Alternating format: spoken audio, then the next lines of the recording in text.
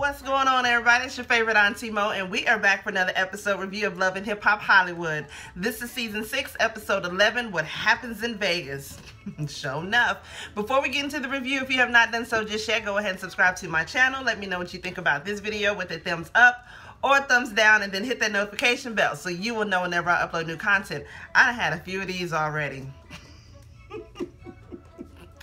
Moscato with strawberries. I done got fancy, then let them marinate all up in there. Look, what it say? What it say? It's time to wine. What it say? Wind me up and watch me go. Hmm, if y'all already knew.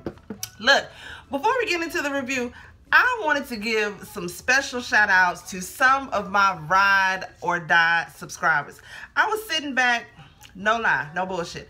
I was just sitting back and I'm thinking because I'm not gonna lie, I pray for everybody that's out there. Anybody, I always say anybody and everybody that grace my page, whether they scroll right past me, whether they clicked on, clicked off, whether they thumbs up, thumbs down, whether they comment or shared, whatever.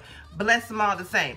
But for these individual people, I have to say, y'all are my ride or die. And I had to say, just thank you to you because you know you you appreciate everything that everybody does but i feel like it's important that you just sort of highlight those extra special ones and just put in that effort. It's like i can always depend on one of y'all if not all of y'all to comment on one of my posts to like it. Like i'm i don't know if y'all are sharing it or not but if you are i appreciate that so much too but just the fact that y'all take the time out and you respond to my videos like I reply back to y'all. Y'all see anybody who has left any comment on my videos I reply back to everybody. Because I I can't believe that you are actually taking the time out to say something to me. So not to take up too much time like I said I just want to say thank you to a few few extra extra special people. Y'all have become my nieces my nephew and I really do man Y'all got love from your auntie, for real. No lie, no lie. And I have to write the name down because I want to mess it up. But Saxon Heights, Mizzle 14, Marissa Shoot, um, Tequila, Will, uh, Tequila Woods, Chrissy Chris Jams, Rasan, and baby, look here. This last one, I don't know how to say your name. I've been calling you Nani. I think it's pronounced Gisanani Morgan. It could be wrong, but baby, Auntie been calling you 90 because I have a niece that is that I call 90 and that's my baby girl. That's my that's my love. That's my heart. That's my everything. That's my ride or die. That's my right hand as well. So baby, Auntie just been calling you 90 Morgan. But I feel like it's pronounced G Sanani Morgan. I could be wrong. But anyways, to y'all, I want to, baby, don't trip. I said it. Baby, first of all, I love that name. I wish I would have thought some shit like that. Don't trip, I said it. I love that name. But thank you all the same. And like I said, I wanted to write down because I want to make sure I didn't miss nobody. No, thank y'all. Just know Auntie love you. I appreciate you. Every single person that's watching this and leaves a comment, thumbs up, thumbs down, thank you. I appreciate you. But y'all individual, like I said, I feel like you have to just highlight those and just kind of make you feel extra special. And when I ever I see a comment from y'all, I just feel extra special. You know what I'm saying? Because I know y'all not just leaving it to, to leave it. Not that anybody's just leaving it to leave it, but y'all leave one all the time. And that just make your auntie feel so goddamn good. But anyways, we need to get into this review because I done spent up like almost three hours, I mean three minutes just talking about y'all. But I just appreciate y'all that much. Anyways though, y'all, I'm hoping y'all agree with me when I say this. This um season of Love and Hip Hop Hollywood it's boring as hell, man. It's boring. I'm sick of Fizzle Pop in Apryl. I'm sick of A1 in Lyrica. Paris and Zellz is getting on my nerves. Where is K Michelle? I'm glad we didn't see um what's that girl? Brittany B and Apple Watts. I kinda like Apple Watts though.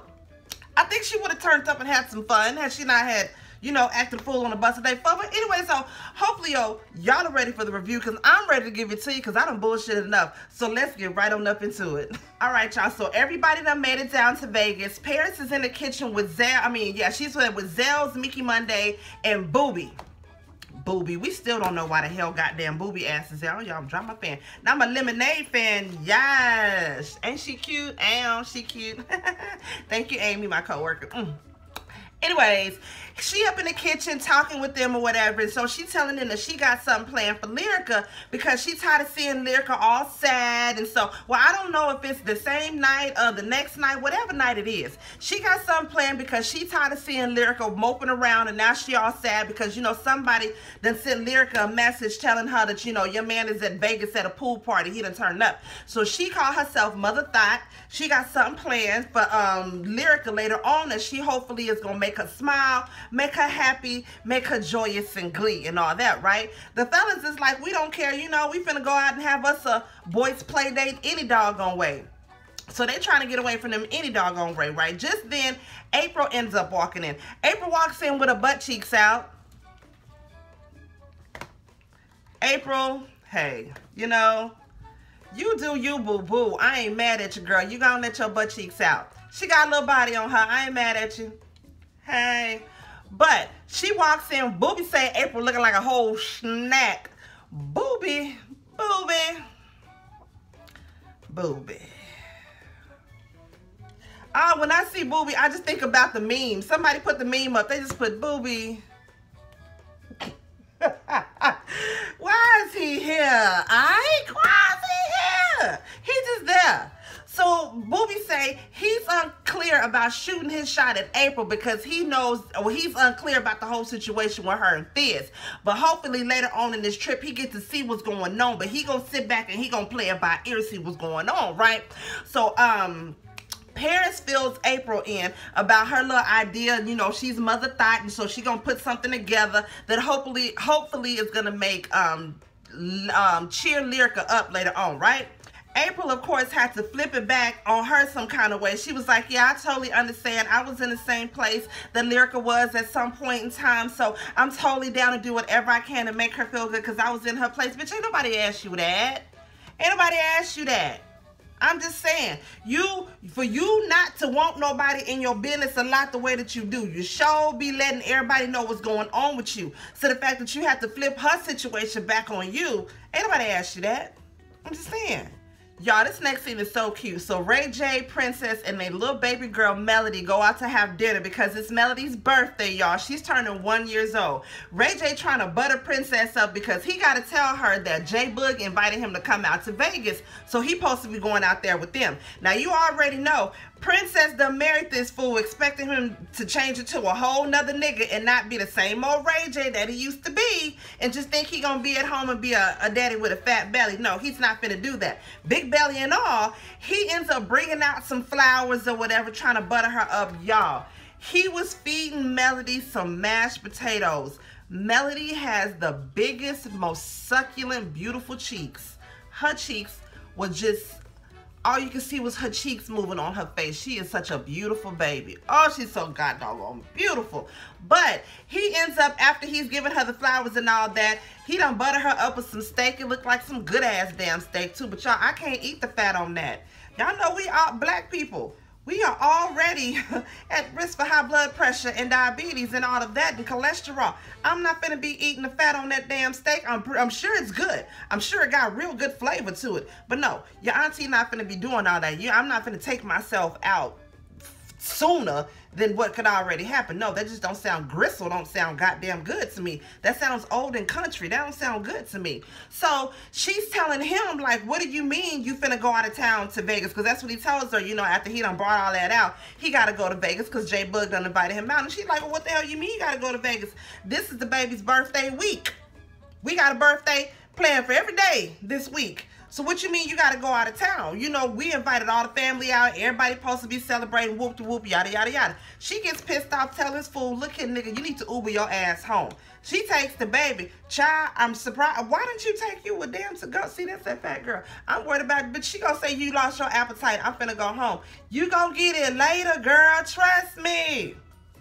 Take that shit to go. But she told this nigga Uber home. She ended up leaving with the baby. Even Melody seemed like she was upset. Like, bitch, I ain't even finished my damn mashed potatoes, really. But she got up there and left.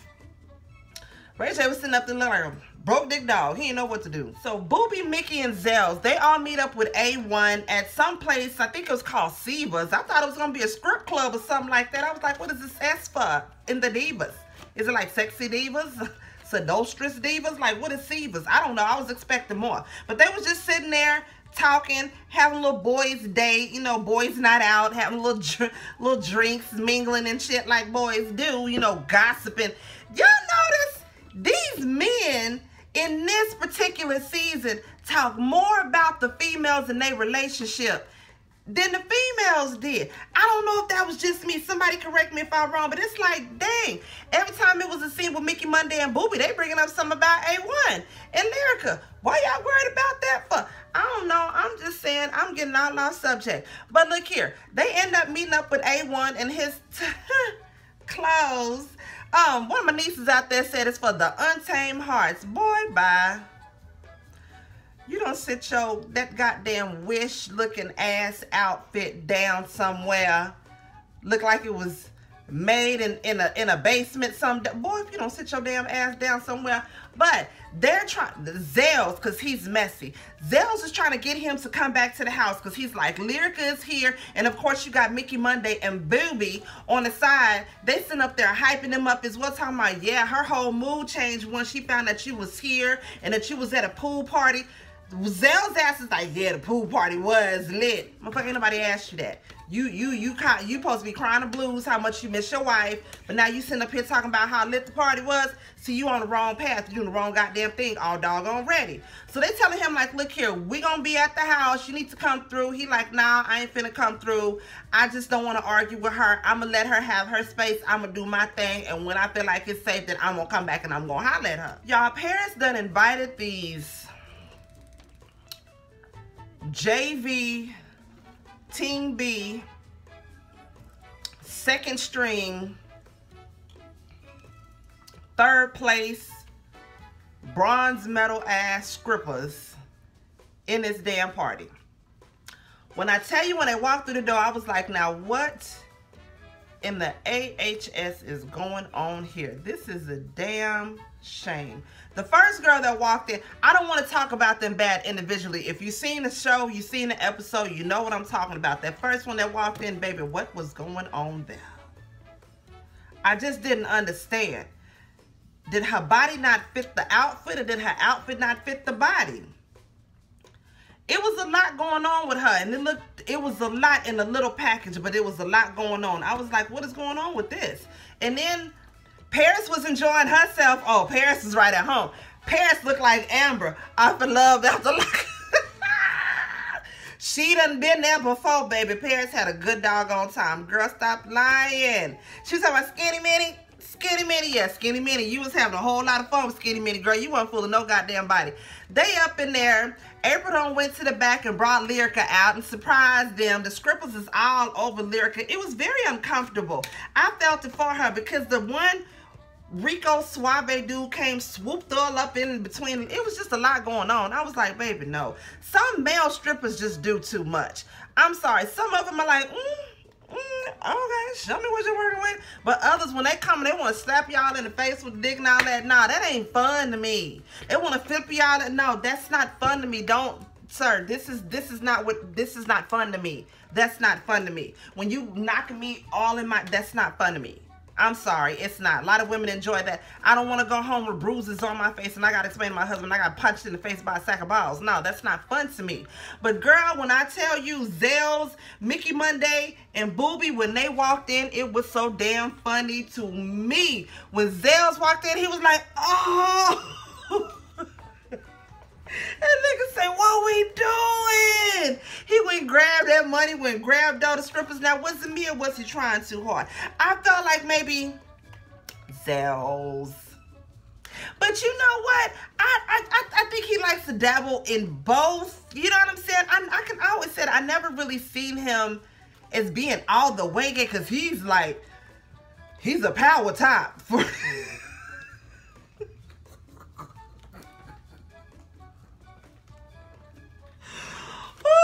Lord forgive me. But, baby, even Mickey Munday was like, where in the hell did they get these strippers from? They can't make it in the Players Club. No, they can't make it in no club. They are the, the, the strippers that you call when the real strippers can't make it. So you got some homegirls in them that like to dance and you can get them a couple dollars to dance. That's who they are. It was just a travesty. The men too. I mean, I don't know, man. Man, I'm not giving you enough credit because they didn't put a whole lot of shine on you. They put a lot on that that one that was in the front, and I was like, ooh. Well, we say in Texas and we ain't got nothing else to say. Ooh, bless her heart. So Zellz ends up taking Lyrica outside and says that he ended up meeting up with A1 and he invited A1 to come back to the house. And of course, A1 didn't want to come back to the house she all in her feelings. She's like, what do you mean, bro? Like, you in the city and you ain't even touched down to see me? You mad at him, ain't you? I mean, I get. Yeah, yeah, I'm married. I get it. So you want to see me at the same I'm like, girl, come on now. You ain't finna leave no doggone way. Like, stop it. Get out of here with this. Stop it. I just can't. I can't. Jason's on his way to go see his family, right? Now, he has 10 siblings he says that majority of them, they have the same father, but they all have different mothers, right? His mother was addicted to drugs. He was put in the foster care system when he was eight years old. He went from house to house. He'd been molested. He'd been abused. He'd been neglected. He had been everything. Meanwhile, two of his siblings, his older brother and I believe one of his sisters, they said they had a great loving relationship with their father, right? Now, he wants to meet up with his siblings because he's putting, it to, uh, putting together a memorial for his brother Rodney that killed, that got killed killed over 20 years ago. He wants to meet with his siblings to get them together because días at first, he said that he wanted to reconcile with them because he hadn't been around. He hadn't seen them in years. His mother passed away six years ago, and he says that they know that he didn't have a great relationship with his mother. But after reconciling with his mother before his mother passed, he realized that he had his own daddy issues, and that's something else that he wanted to get straight with his father, right? And so you've got the older brother who's basically riding for the daddy because he's trying to tell them, like, look here, y'all didn't grow up in the foster care system. This is what I went through. This is what I was going through. And this is what I want to talk to dad about. Now, his siblings seem like some old school black folks. Now, I can understand why they didn't want to talk about that on camera because I can see the older brother getting pissed off because he was like, man, we here to talk about this memorial. We here to talk about you because we here to talk about you. We here to talk about daddy. This ain't, I, we ain't finna be male bashing daddy. And on one end, I don't like Jason Lee because I feel like what I feel like ain't it ain't important. I just well, you know what? It is important because it's my channel. Like I say that I feel like a lot of what he says when he gets at people is one sided. He don't really try to see things from a, all perspectives. He's real one sided on a lot of his arguments, and so that's my only opinion that I have about him. Not a dislike, not issue. Just my only opinion that I have about him. But anyways, his his siblings aren't open to talking about that on camera. So his older brother was like, look here, we finna sit here male bash daddy. We finna, you know, I'm finna leave. I'm finna take all the shit off. I'm finna leave. And he's like, it's not male bashing. I'm just letting you know how I'm feeling and what I was going through. And this is something that I want to be able to talk to him about. Is this something I can talk to y'all about? And the brother was just like, look here, I ain't here for it. Brother got pissed off. He left. Sister's like, look here, I think this is something that should be talked about in private, something that shouldn't be talked about in public for everybody to see. This is something that, you know, you and daddy probably need to talk about off camera, right? Later on, he tries to go and meet with his father. His father doesn't show up. He ends up meeting up with two of his brothers afterwards at his brother's uh, Rodney's gravesite because they still hadn't had the, mem the memorial. The memorial was like the day after that or whatever, right? So, um, his two brothers are there. He told him that the dad didn't show up. And he's just like, you know, if dad doesn't show up to the memorial tomorrow, then that's just it. I'm done reaching out to him. It's going to be is what it is. The brothers is like, look here. You know, all we can do right now is just focus on what's going on. Hopefully one day y'all can get it together. They said a moment of silence. OG Big Brother, OG Triple OG poured out a little liquor for him. I said, if that ain't a hood throwback nigga right there, I bet the nigga still drink OE, still wear tone locs, still wear Dickies with the house shoes, with a wife beater, because that look like the type of nigga he is. Y'all, so Apryl, Vicky, and Booby, they having breakfast the next day, right? And so she's talking about how later on B2K is having a pool party. Everybody's going to be coming through. She's hoping that, you know, everybody can turn up. She's like, it could be, probably be a little skinny dipping action and all this. Apryl said her... she sets herself up for a lot of shit that happens. And then she, God just, ooh, Apryl, I'm glad you're beautiful, girl, because a lot of stuff you do is just, it's questionable. It's real questionable. Just saying. So Booby is like, he ready for Fizz to come through because he ready to shoot his shot. He say Apryl is wifey material and he just trying to see what's going on with Fizz because that's going to let him know whether or not he can ah, ah, shoot his shot. Booby, if you don't sit your goddamn ass down somewhere, so Ray J arrives in Vegas. He came through on his private jet. He said they call him PJ Ray J Ray J, PJ, I don't know. Boy, sit your ass goddamn down somewhere. I ain't mad at you. You and all your belly in that jet. You better go, boy. Fly them American skies, okay? He arrived in Vegas. He met up with A1. He said that B2K having a party. Lyrica gonna be there. Let's go ahead and pull up. You know what I'm saying? Let's pull up. He kept telling him that A1 kept on with the same old bullshit, how he don't want to argue. And Ray J like, look here, that's your wife. You want your wife back, don't you, fam? Let's pull up though. We got we we gotta pull up. You know how Ray J be, he animated as hell. So y'all, they end up actually going to the party. Everybody's there. You know, Lyrica's in good spirits. You know, she's in a whole different mood, whole different mindset. She ready to party. They in there taking shots, turning up. Next thing you know, Ray J A1 walk through. Goddamn looking like, ain't this about a some bitch. Did this motherfucker really just bring his big head ass up in here? But she was happy to see him. Girl, you ain't fooling no damn body. You was damn sure happy to see him, child. Y'all, so Fizz and J Boog come there. Everybody turn up. The party like it's fun. Damzel say he can't get his ass in the pool because he just got his hairline freshly done and he ain't about to hop in there. I ain't mad at you, baby, huh? I, that's like me around somebody with not with this this fresh wash and blow dry baby. No, she not finna do it. I'm already sweating. It's about to start curling back up. I'm finna have to straighten it right back out again. Ain't nobody got time for that. No. Zell say he out there looking for him a female. Zell's you. Woo. Y'all, so the party popping. Ray J get to passing out his little party favors. Who I bet you that was a fun ass damn party.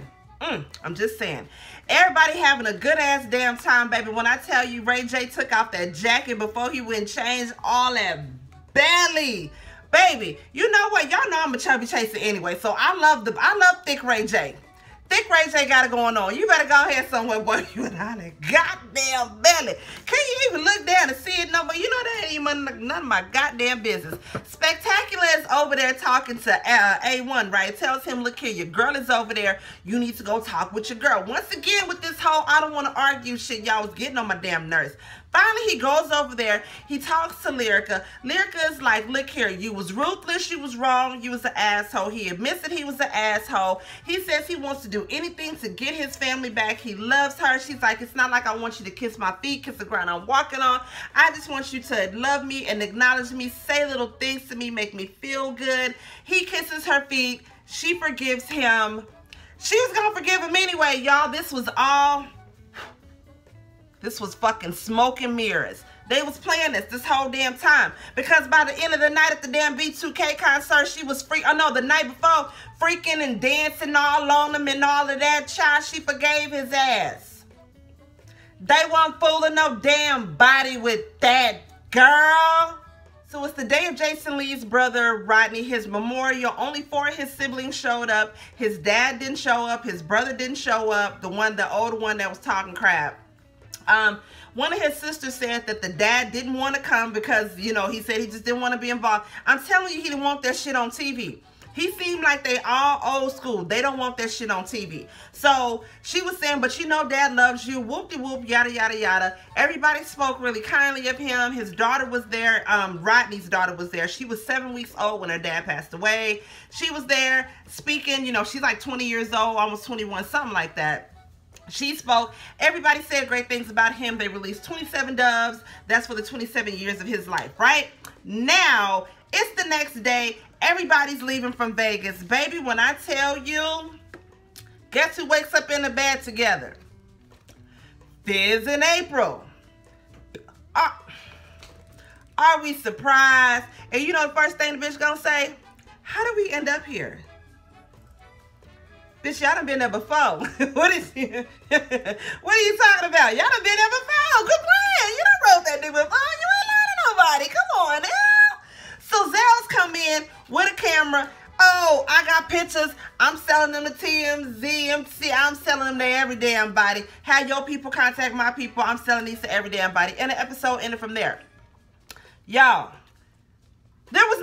exciting about this, but I hope that I made it exciting enough for you. I had like three glasses of these this wine already. Look at the glisten. Look at the dew on your IT. Hopefully y'all enjoyed. Hopefully you guys enjoyed the review. If it was anything that I missed, please don't forget to drop it down below and let me know. Please don't forget to like, comment, subscribe, and share. And Auntie Mo will see y'all in the next video. Peace out. What's up, y'all? Do me a favor and share the video. Please make sure to subscribe to my channel.